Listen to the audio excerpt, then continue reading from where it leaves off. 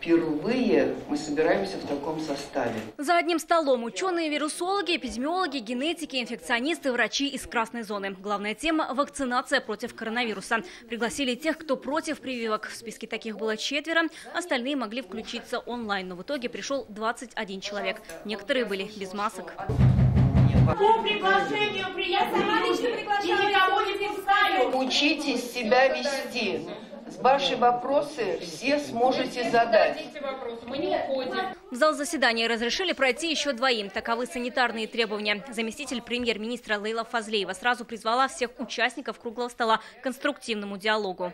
Я предлагаю сейчас перейти в конструктив, послушать друг друга. Сегодняшнее мероприятие не является пропагандой вакцинации, ровно так же, как не является призывом отказаться от вакцинации.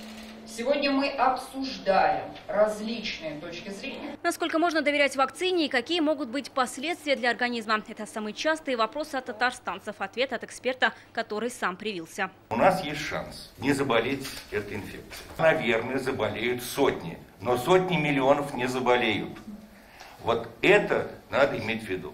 Привести все аргументы собравшимся экспертам не удалось. Помешали активисты, противники прививок. Они задавали вопросы не по теме круглого стола и постоянно перебивали специалистов. А даете ли вы лично гарантию, что эта вакцина впоследствии не приведет а, к бесплодию? Несмотря на это, эксперты хотя бы частично смогли ответить на вопросы, которые волнуют население. Возможно ли заболеть ковидом в результате вакцинирования? Из чего состоит вакцина? Здесь нет вируса самого при введении в организм человека. Здесь есть только его один ген, который никак не может а, вызвать заболевание. Это вот по вопросу то, что мы можем повысить там уровень заболеваемости в результате вакцинирования. Это четкий ответ. Никак.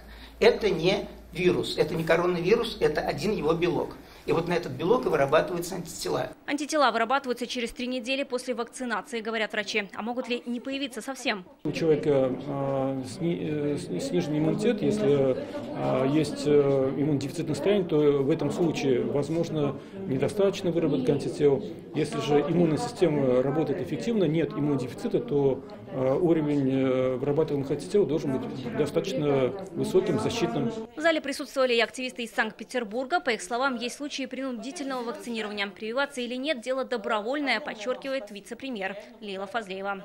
Если факты принудительной вакцинации имеют место быть на территории Республики Татарстан, или вы владеете информацией о вакцинации принудительной на территории Российской Федерации, оперативный штаб республики принимает все эти замечания, предложения с конкретикой на территории Республики Татарстан на сегодняшний день 81 122 вакцины.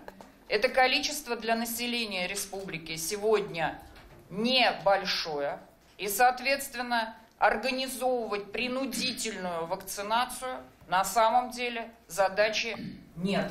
Круглый стол получился острым. Времени для ответов на вопросы рядовых татарстанцев не осталось, хотя их на горячую линию общественной палаты поступило очень много. Ведь сейчас, когда идет активный период вакцинации, очень важно каждому услышать мнение экспертов. Но такой возможности сегодня, увы, некоторые активисты так и не дали.